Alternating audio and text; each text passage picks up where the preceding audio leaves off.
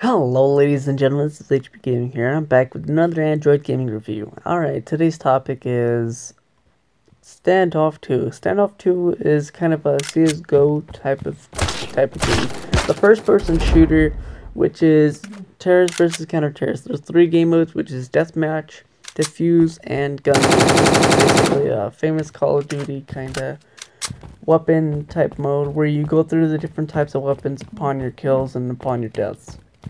So continuing on, this game has a box and a and like if you guys want to see those screenshots right here, uh, the this game is actually really great in my point of view, but it, it's one that I won't be keeping today. Um, thank you.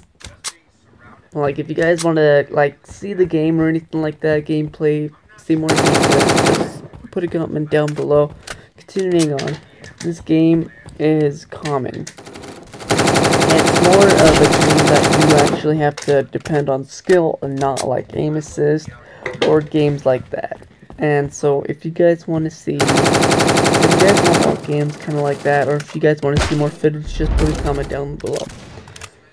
I mean, if you guys, I mean, if you guys want to play with me or anything like that, um, I my game my name in the game is HP Gaming YT, and if you guys want to join my Discord server, it's down in the description below. Thank you, and